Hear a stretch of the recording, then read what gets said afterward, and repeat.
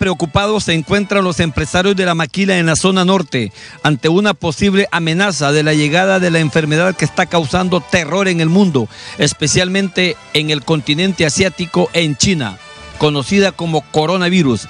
Jesús Canahuati expresa su preocupación. Esto es una cosa seria y cada vez que escuchamos, anoche estuvimos hasta tarde viendo las noticias porque China pues está 15 horas adelante y estábamos viendo cómo operaba el lunes y en realidad eh, no está operando en su mayor, eh, en, su capacidad y en muchas regiones todavía están en cuarentena. Se han descubierto incluso eh, otros casos en cruceros y otros países se han sumado a declarar la emergencia. O sea que esto es algo en realidad muy preocupante porque el coronavirus está afectando más que lo que era el SAR. El SAR llegó a, afectar 800 personas que fallecieron.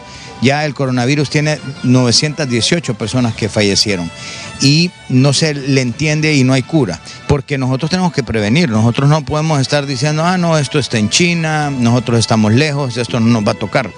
Nosotros tenemos que saber Dios me, tenemos que rezar para que no venga y Dios mediante no venga, pero si viene, tenemos que saber cómo vamos a atender una situación de esta magnitud. Pero esta preocupación no solamente debe ser de los empresarios de la maquila, sino que también del gobierno a través de la Secretaría de Salud.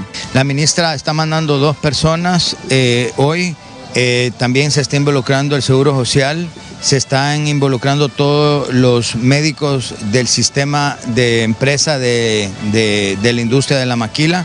O sea, estamos hablando de 300 personas. Quieren venir más médicos, pero como no hay suficiente capacidad para atender a tantas personas una charla, se va a manejar en Facebook de la Asociación Hondureña de Maquiladores. O sea que muchos médicos que no han podido venir van a darle seguimiento al seminario del doctor eh, Tito Alvarado en Facebook de la Asociación Hondureña de Maquiladoras. Mire, todos nos tenemos que capacitar.